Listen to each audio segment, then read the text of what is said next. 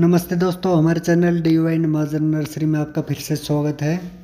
तो दोस्तों, आज हम बात करेंगे अलामंडा प्लांट की, कि इस प्लांट को आप अच्छा हेल्दी कैसे रखें और इसमें ज़्यादा फ्लावर कैसे पाएँ।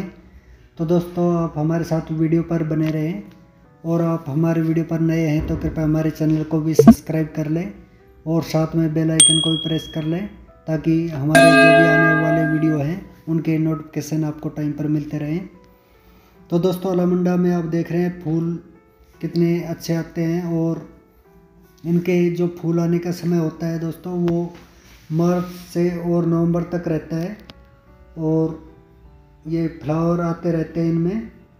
तो दोस्तों, उसके फ्लावर के लिए एक तो आपका सोइल मिक्सर है, वो अच्छा होना चाहिए और इसकी आप टाइम पर पुर्निंग भी करते रहें, तभी आपका ये प्लांट हेल्दी रहेगा।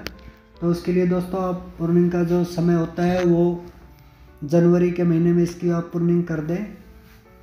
और जो सॉइल मिक्सर आप नया प्लांट लगाते हैं तो सॉइल मिक्सर जो आपने यूज़ करना है, इसके लिए आप आधा भाग मिट्टी लेनी है और आधा भाग इसमें वर्मी कंपोस्ट या आप गली हुई गोबर खाद का भी इस्तेमाल कर सकते हैं। और हो सके तो आप थोड़ा इसमें बालू जिन्हें रेता बोलते हैं, उसका भी इस्तेमाल करें। और तभी आप इस प्लांट को लगाएँ।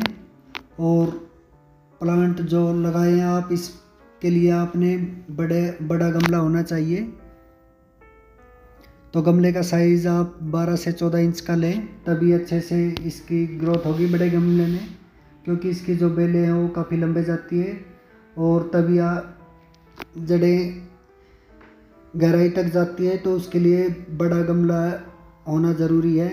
तो ये ध्यान रखना है दोस्तों, और इसको जो फुल सनलाइट चाहिए होती है तो इसे फुल सनलाइट में इस प्लांट को आप रखें।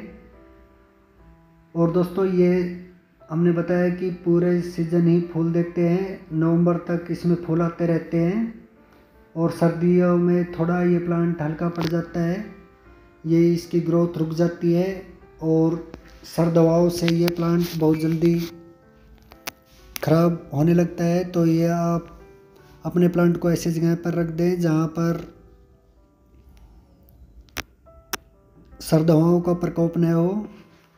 और दोस्तों, इसकी आप टाइम पर गुड़ाई भी करते रहें और गुड़ाई करते वक्त यह ध्यान रखें कि इसकी ज़्यादा गहरी गुड़ाई ना करें, क्योंकि इस जड़ें अगर हिल जाती है, ऊपर आ जाती है तो ये प्लांट अच्छे से ग्रोथ नहीं कर पाएगा। तो ये ध्यान रखना है आपने। और जो फर्टिलाइज़र है, वो आप इसमें घोल के रूप में भी फर्टिलाइज़र दे सकते हैं।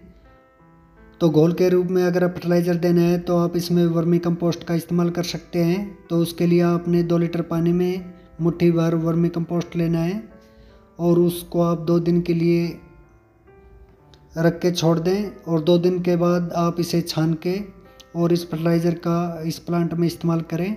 वैसे ये प्ला ये फर्टिलाइज़र जो हमने बताया, आप किसी प्लांट पर भी इस्तेमाल कर सकते हैं। बहुत ही अच्छा फ़ायदा मिलता है। और दोस्तों, अगर आप केमिकल युक्त फर्टिलाइज़र देना चाहते हैं तो इसमें आप डीएपी का भी इस्तेमाल कर सकते हैं। तो डीएपी आप इसमें दो चार दाने इसमें डीएपी डाल सकते हैं। गुड़ाई करने के बाद इसमें डीएपी मिक्स कर दें।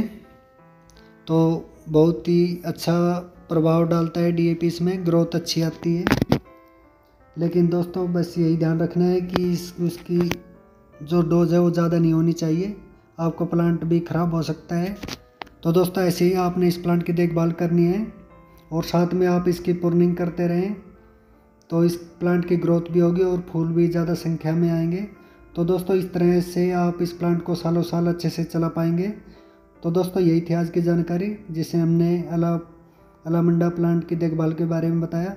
तो दोस्तों, फिर मिलेंगे नई वीडियो के साथ।